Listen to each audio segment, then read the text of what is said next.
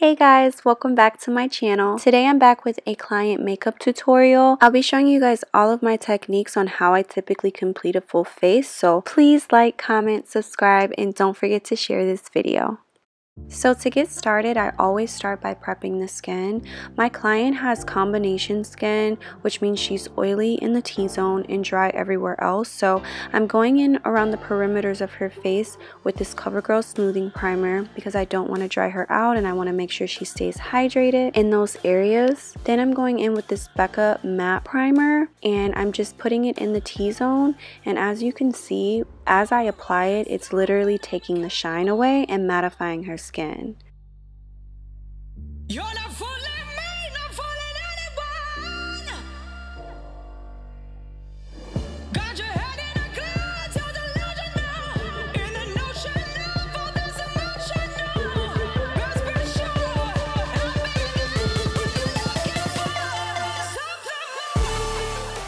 So once skin prep is completed, I move on to the brows. So for her brows, I'm using the NYX Brow Pencil in Espresso. So starting out with the brow, I always start with the baseline. I then start doing feather-like strokes in the same direction that the hair naturally grows in to just make the brow look softer and natural. And then I, of course, I fill in the sparse areas too.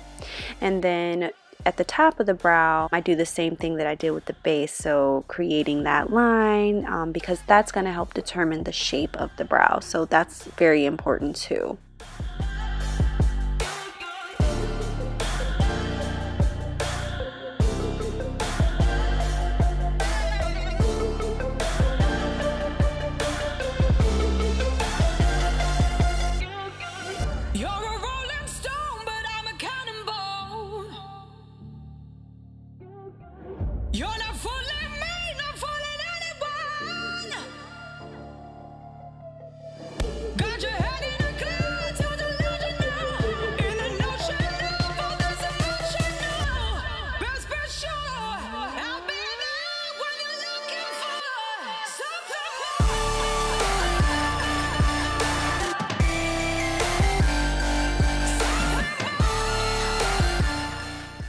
Always use this spoolie to help comb the product through the brows and just help the brows look more natural. So don't be afraid to use that.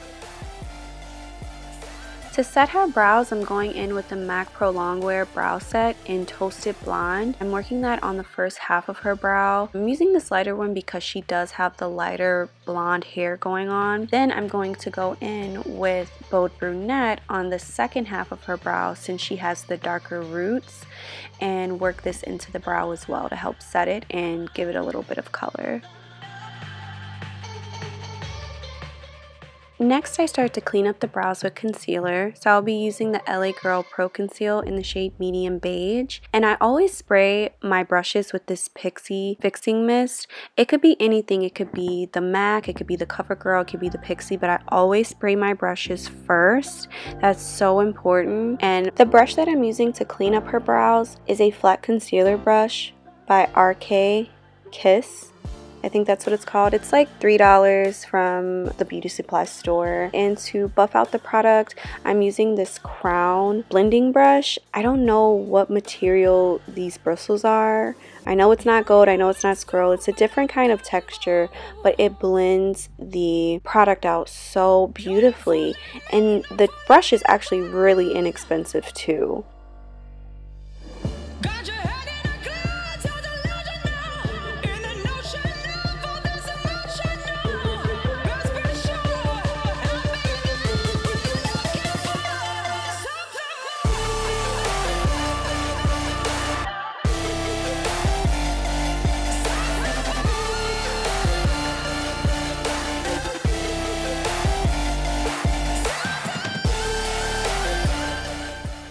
Clean up the top of her brows, I'm going in with the MAC NC45 Studio Fix Fluid Foundation so that it matches her skin tone and she doesn't have like this lighter color above her brow.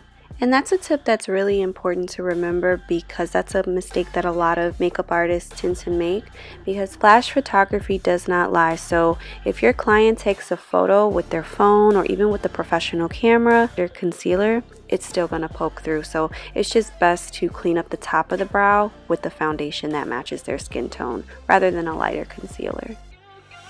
The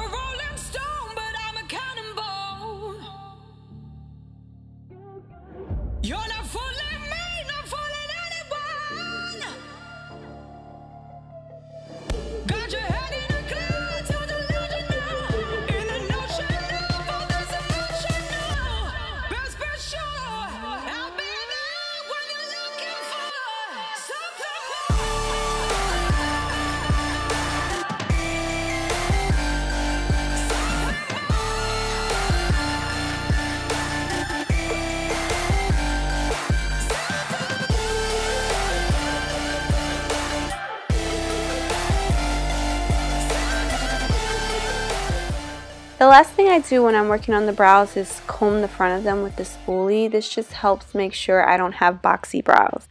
Now I'm just taking that leftover concealer that's on the back of my hand and applying an additional layer to the eyelid because I don't want any skin peeking through.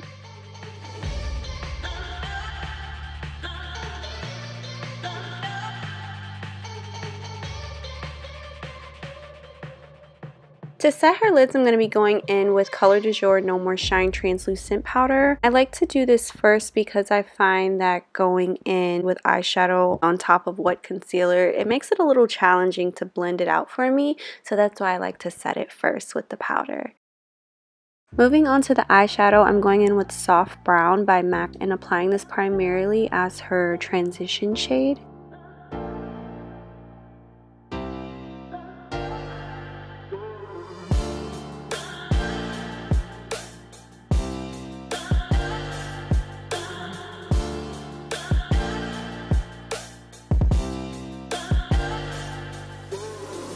For her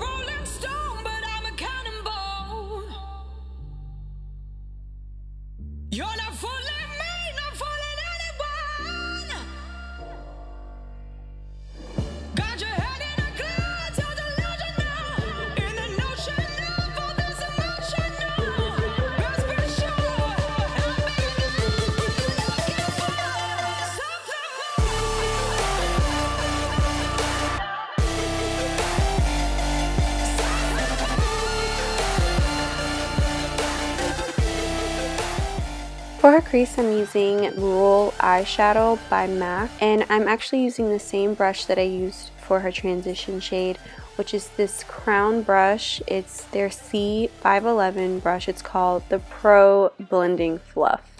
And I just took a quick visit to Crown Brush's website and they're having a 30% off sale.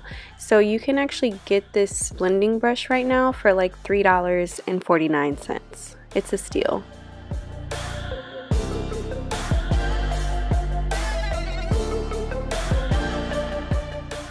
For the outer corners and a portion of the crease, I'll be going in with Saddle eyeshadow by MAC. And yes, I'm still using that same blending brush by Crown, their Pro Blending Fluff. It's amazing. As you can see, it blends like a dream.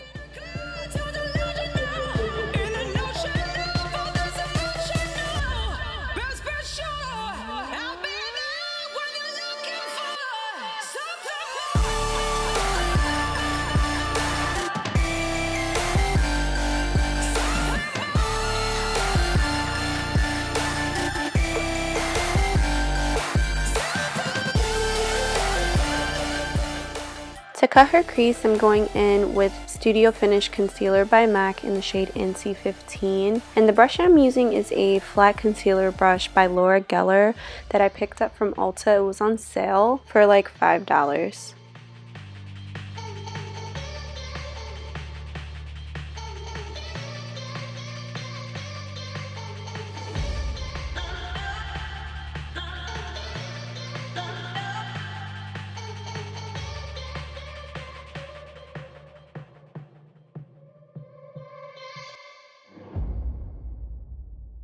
With this cut crease, I'm only going to be cutting it about halfway across the lid. And then I'm going to use my ring finger to like dab the concealer to help blend it out a bit.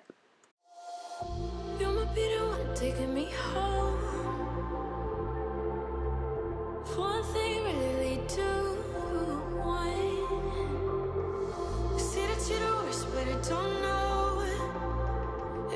her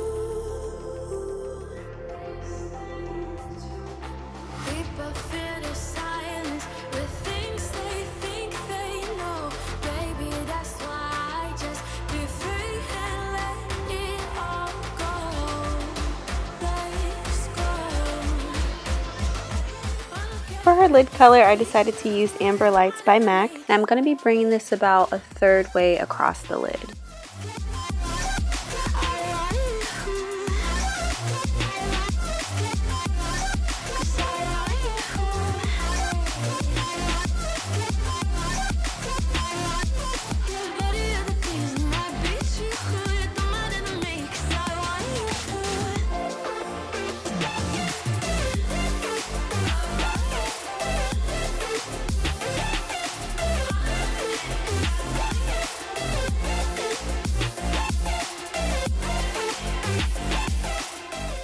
Next I'm grabbing my Profusion eyeshadow palette that I picked up from Target. It was like 5 bucks. I'm going to go in with this impressive eyeshadow here and I'm going to put it in the center of the lid. Now this shade is very very similar to Amber Lights. It's a smidge darker but it blends beautifully with Amber Lights so I really like it.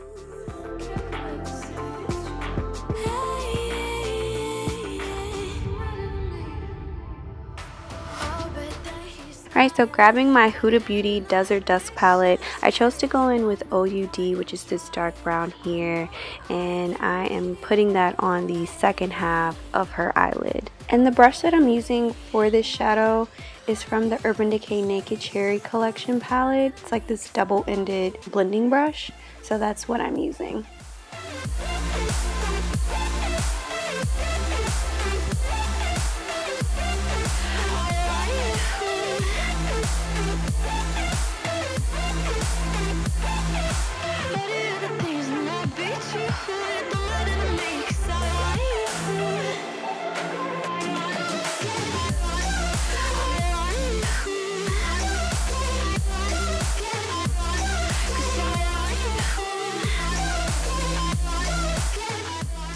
I wanted to close out this eye look with a little smokiness, so I'm picking up my Smashbox Full Exposure palette and taking some of that black there and popping it on the very outer edge of her eye.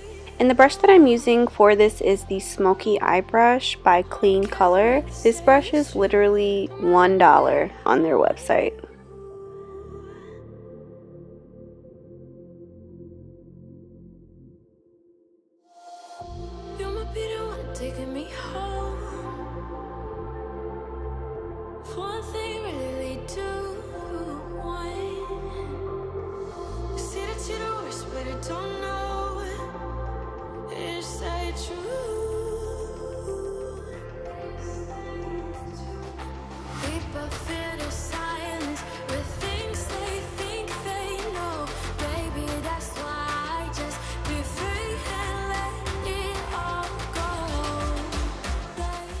Now I'm just going back over with the previous brushes that I used before and tapping over these shadows to help blend them together.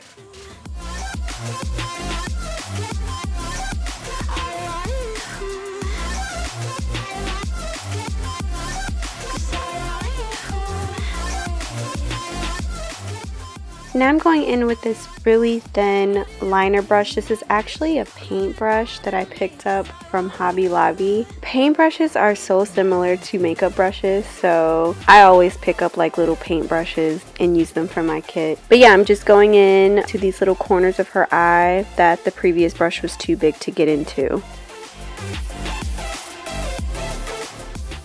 Now I'm going back in with my Profusion eyeshadow palette from Target and taking the shade Relaxed and blending that into the crease and transition area to just help make everything look a bit more smoother and blend it together.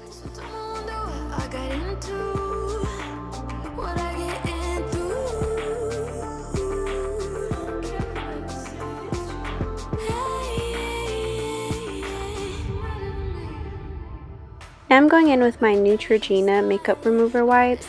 These are the ones that come in the baby blue packet. I think they're like the original ones, but they're my favorite.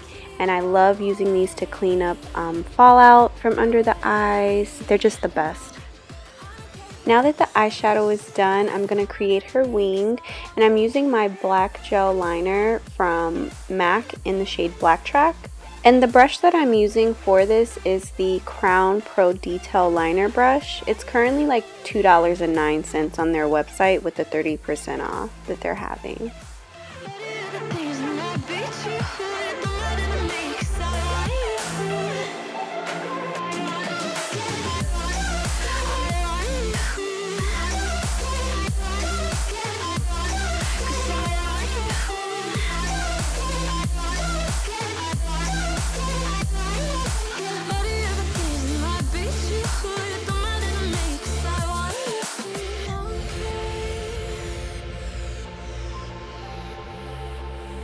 After wiping away that fallout eyeshadow on her face earlier, it essentially wipes away the primer as well. So I'm going back in with my Becca mattifying primer to reapply this in those areas because I don't want to go in with any face products without making sure she has some sort of primer down. And I'm also going over the areas where I'm seeing like a little shine trying to poke through too. So for foundation, I'm going in with the MAC Studio Fix Fluid Foundation in the shade NC45. I always start in the center first and just work my way out. Now, initially looking at it, it might look like it doesn't completely match her skin tone, but please keep in mind that no one is one flat color. So in this case, my client is lighter in the center of her face and darker like on her forehead and the perimeters of her face. So when color matching her, I decided to color match her chest and her neck and that's how we determined the best shade for her was the NC45. Now of course I'm going to bring lightness back to her face by going in with concealer and more warmth to like the perimeters of her face by adding the contour. So keep that in mind. I know a lot of people struggle with foundation matching because it can be a tr bit tricky for that reason, but just keep in mind that you are going to bring back lightness and warmth to the skin with your concealer in your contour. And the brush that I'm using is the number 47 Sephora Pro foundation brush and it retails for 30 bucks.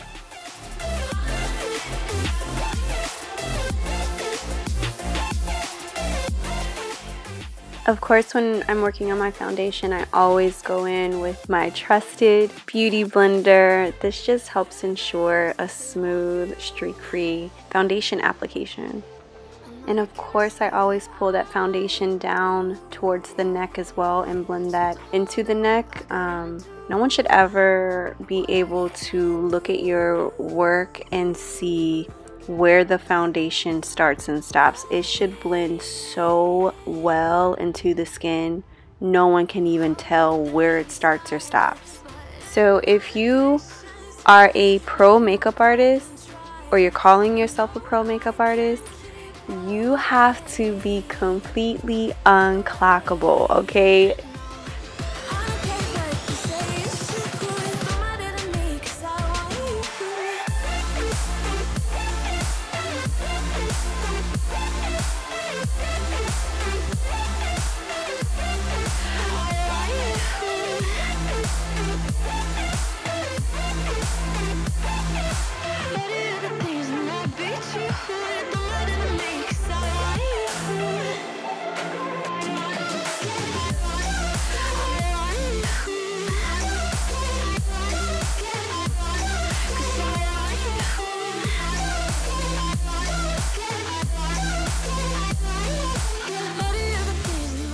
So I'm grabbing my Kevyn Aucoin Skin Enhancer in the shade SX10 and just referencing what I said earlier, we are doing this to bring, you know, the lightness back since she is naturally lighter in the center of her face.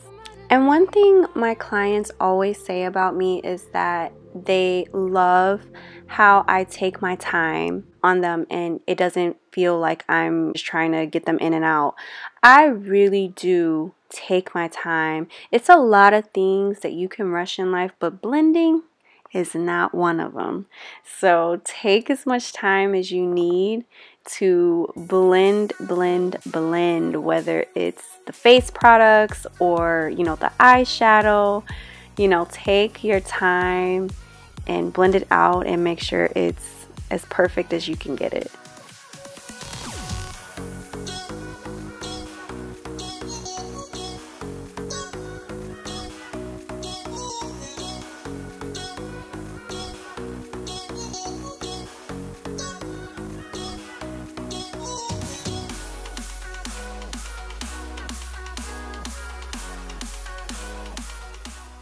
For her contour, I'm going in with my Sleek Makeup Contour Kit in the shade Dark. And I'm going in with this middle shade here in the last row. And we're going to warm up her skin. To blend out my contour, I always use my e.l.f. small stippling brush. It's $3. I pick it up from Target. And I just love it so much. It's the best thing to me for blending out like cream contour I've used other you know brushes to blend out my contours before but I always find myself coming back to this brush and just naturally gravitating towards it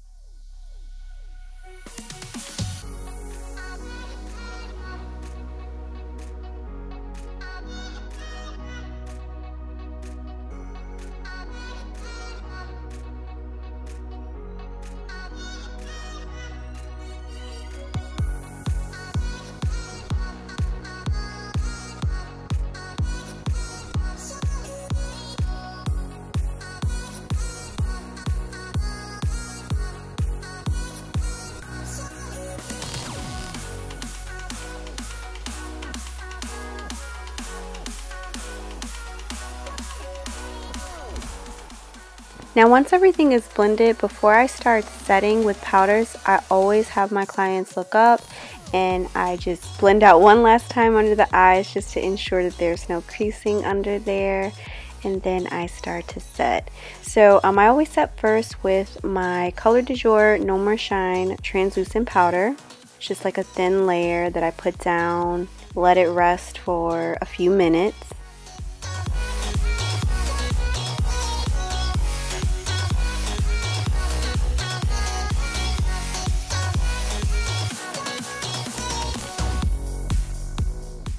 So once I feel like the powder has set long enough, I'll go in with my Color Dujour number 20 brush. This is her tapered brush and it retails for $15. I probably have about three of these in my brush collection because I just love it so much. Once that Color Dujour powder is dusted away, I like to go in with my banana powder and beauty blender and set those same areas and let it sit for a little bit.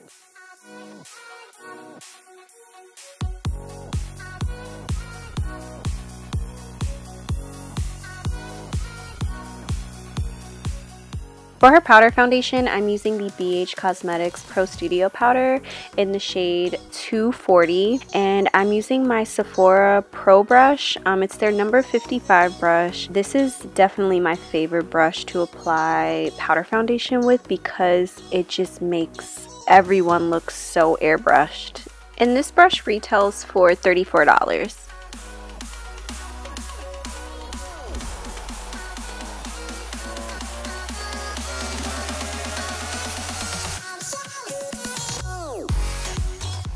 In the middle of me applying the foundation, I like to go back in and dust away that setting powder that's been baking using the same Color Dujour number 20 brush. And once that's all dusted away, I go right back to applying that powder foundation.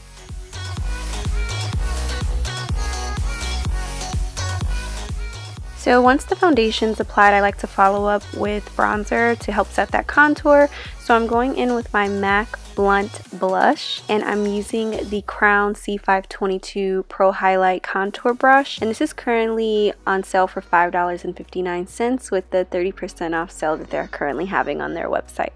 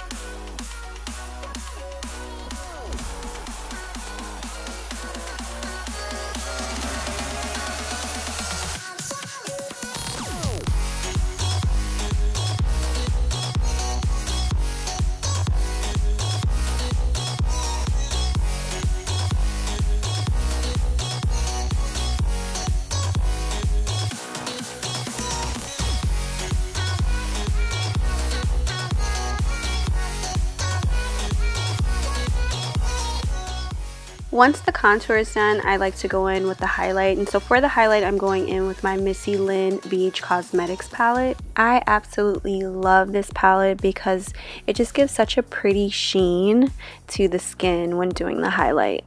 And I'm using my Crown C530 brush to apply this. It's their Pro Detail Powder slash Contour Brush and it's currently on sale for $6.99.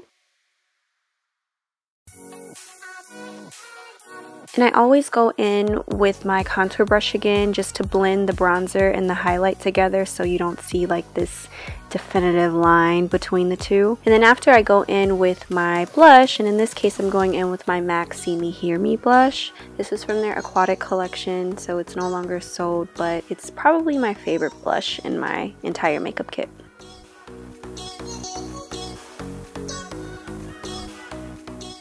For mascara, I'm going in with my Maybelline Great Lash Mascara. This is a classic, and of course I'm doing my tried and true wiggle and pull technique. So wiggle at the base for volume, and then pull at the end of the lashes for length.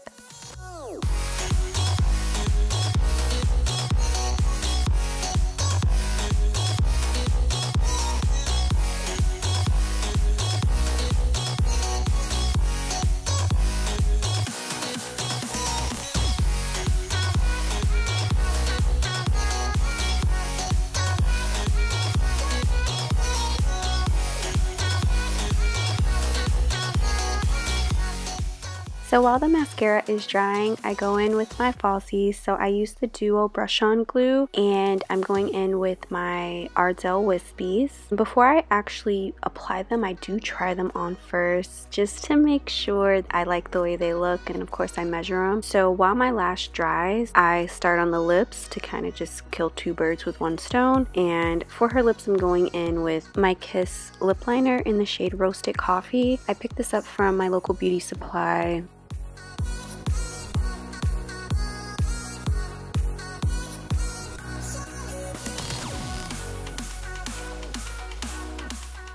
Once the liner is applied, I go in with lipstick. So I'm going to be going in with MAC Self Aware first. And this is such a beautiful nude to have in your kit if you are a makeup artist. It's just so beautiful and it works on all skin tones. And if you've been watching my channel long enough, you know I never just do one lipstick. I always mix my lipsticks. So next I will be grabbing my Really Me MAC lipstick and applying that on top to give it a beautiful, beautiful finish. I just love customizing lip shades for my clients. After I have my clients dab their lips, I always wipe off the excess product off the brush and then I go back in to feather out the product towards the edges of the lips to help blend it in a little bit better with that lip liner. So by the time all of this is done, I know that my lash is done drying. So I go ahead and pop that on. I usually start with the outer corner first and then work my way towards the beginning of the lash. And that's how I choose to stick my lashes on. And I usually squeeze it together just to make sure it's as close to that lash line as possible. And then I go in with my tweezers to separate the lashes too to help them blend better with that falsie. Once lashes are on, I like to finish off the eyes. So I'm going in with my Urban Decay Perversion eyeliner. I'm lining her lower lash line with this and then I'm going to smudge it out with my Color Dujour number 4 brush. This is her pencil brush. This brush retails for 6 bucks.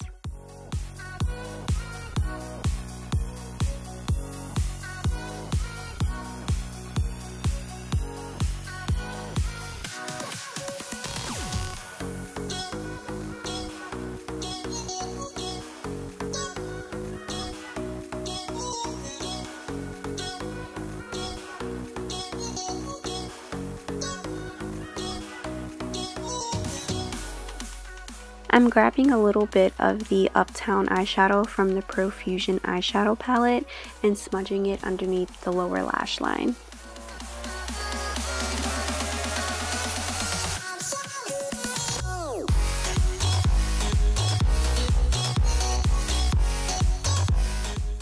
I'm also taking a little bit of Saddle Eyeshadow by MAC and smudging that underneath the lower lash line as well.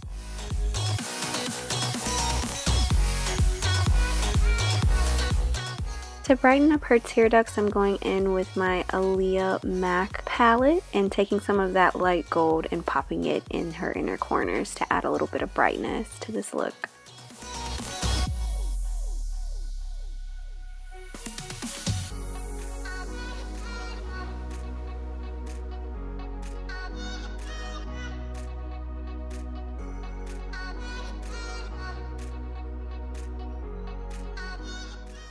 To bring a little balance to her lower lash line, I'm going in with some mascara and I'm using that same wiggle and pull technique.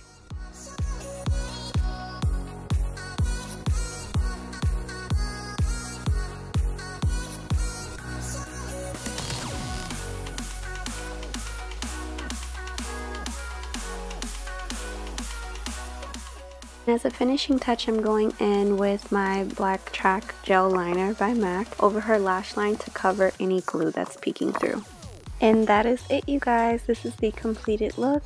Thank you guys so much for watching. Don't forget to like, comment, subscribe, and share if you care. And I'll see you guys in my next video. Bye!